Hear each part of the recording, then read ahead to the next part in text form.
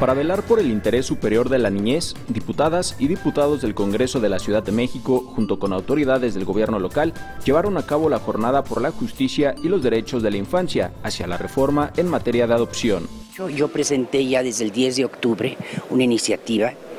para ver cómo podemos realmente eh, lograr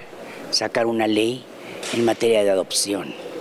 para la Ciudad de México y existe ya, bueno, está la, federal, pero tenemos que ver cómo la armonizamos para que quede para todo el, para todo el país. Bueno, primero es garantizar el interés superior de la infancia,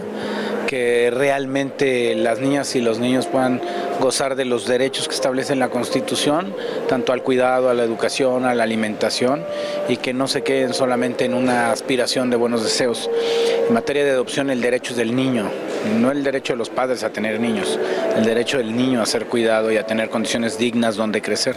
Al encuentro promovido por la diputada del Grupo Parlamentario de Morena, Lilia Eugenia Rosbach Suárez, asistieron el presidente de la Junta de Coordinación Política del Congreso Capitalino, Mauricio Tabe Echartea, la presidenta de la Comisión de Igualdad de Género, Paula Soto Maldonado, la legisladora por Morena, Valentina Batres Guadarrama, así como la directora del Sistema Integral del Desarrollo de la Familia en la Ciudad de México, Estela Damián Peralta, y la presidenta de la Comisión de Derechos Humanos Local, Nacheli Ramírez Hernández